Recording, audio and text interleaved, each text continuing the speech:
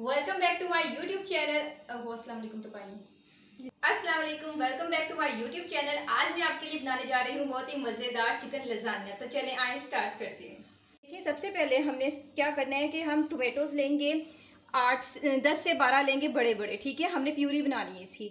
क्या करेंगे? पैन में सारे के सारे डाल देंगे।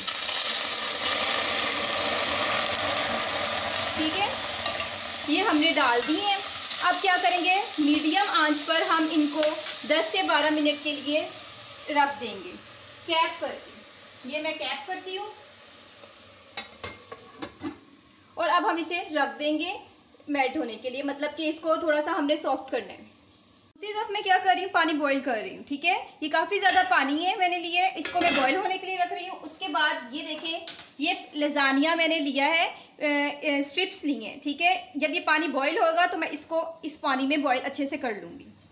ये देखें बॉईल हो रहा है। हमने इसमें टू स्पून जो है ऑयल डालना है, ठीक है? और उसके बाद वन स्पून हमने नमक डाल देना है। अब क्योंकि ये बॉईल हो गए तो हमने आहिस्ता आहिस्ता करके लजानिया पट्टियाँ भी डाल देनी है।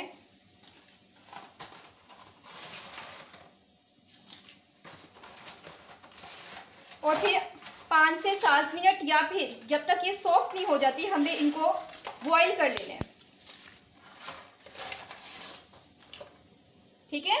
देखिए टेन मिनट्स हो गई हैं, मैंने चूल्हा ऑफ़ कर दिया है कितने सॉफ्ट हो गई हैं, ठीक है? अब आपने इसको ब्लेंड कर लेना है। या तो आप अपने जो ब्लेंडर होते हैं, उसमें ब्लेंड कर ले, मेरे पास ये हैंड ब्लेंडर है तो मैं इससे कर रही हूँ।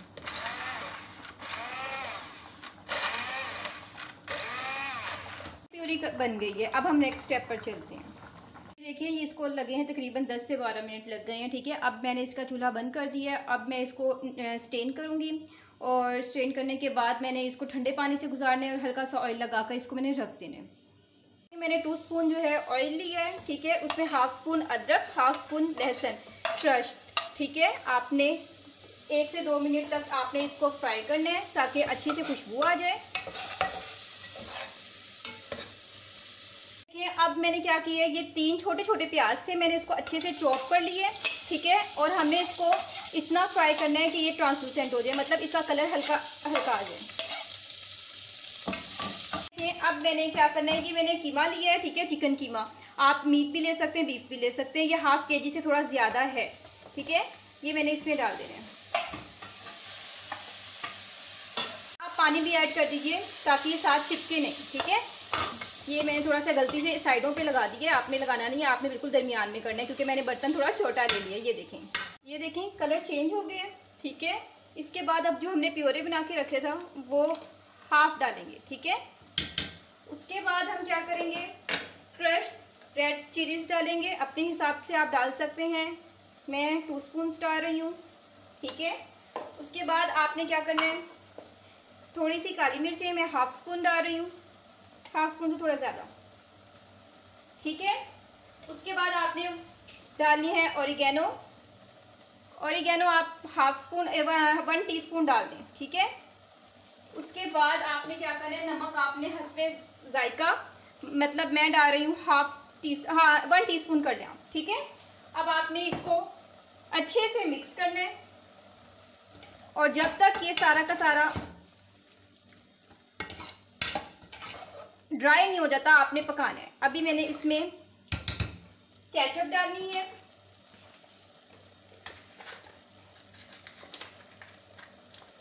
ये देखें, ये पाँच से छः चम्मच मैंने डाली है, आप इससे ज़्यादा भी कर सकते हैं।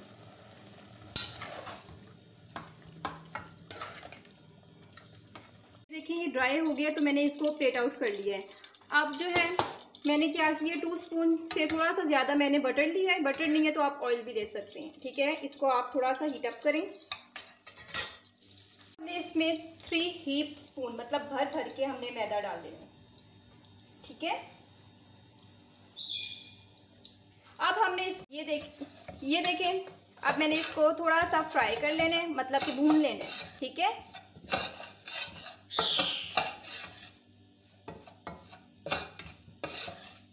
हल्की आँच है आपने अब क्या करना है, ये स्टेप थोड़ा सा इंपॉर्टेंट है क्योंकि आपने इसमें हल्का हल्का डालना है दूध और दूसरे हाथ से आपने हिलाते रहना है ताकि गुठियाँ सी ना बन जाए। अब आपने दूध इतना डालने हैं जितनी आपको ज़रूरत है। ठीक है?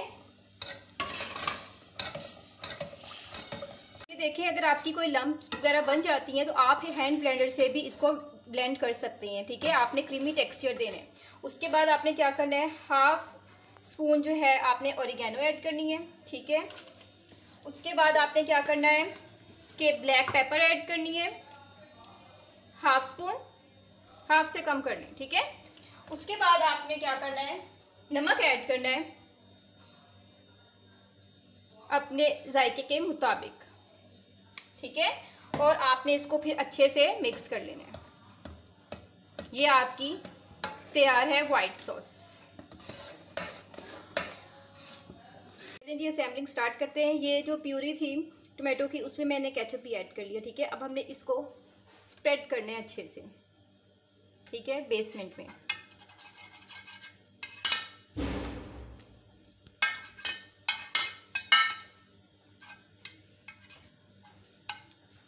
इसके बाद हमने क्या करना है?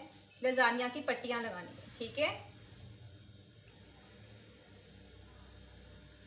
वाओ सो प्रिटी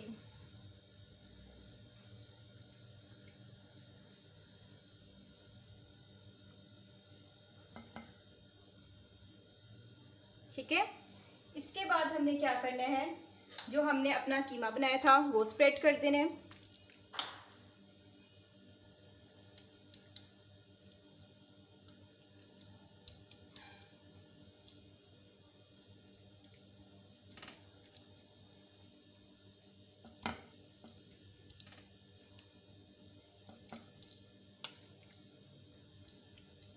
बाद हमने क्या ऐड करना है? ये हमने जो वाइट सॉस डाली थी, वो ऐड करते हैं।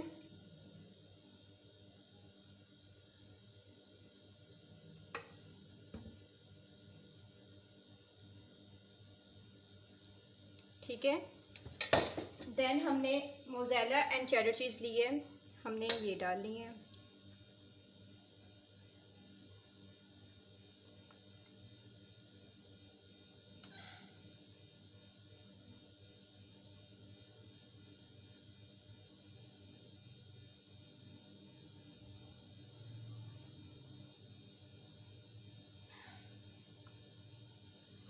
कि ये एलापिनोज में यूज़ कर रही हूँ, ठीक है?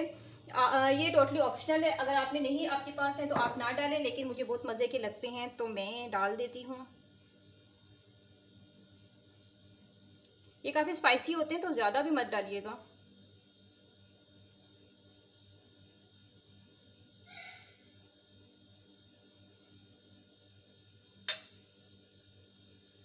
उसके बाद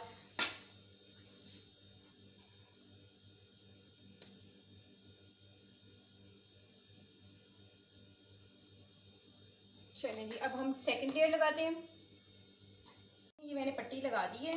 इसके ऊपर मैंने अच्छे से स्प्रेड करूँगी कितना मज़ेदार बन रहा है। मुँह में पानी आ रहा है मेरे तो। बस जल्दी से बने और मैं खा जाऊँ।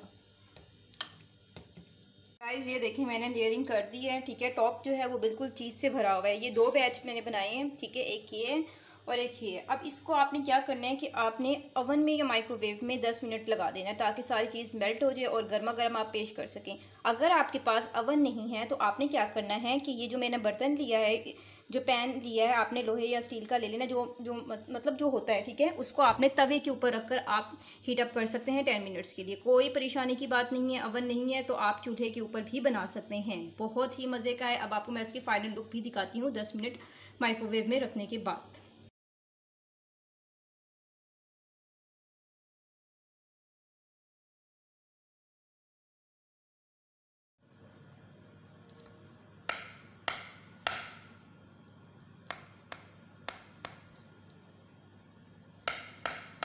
होता है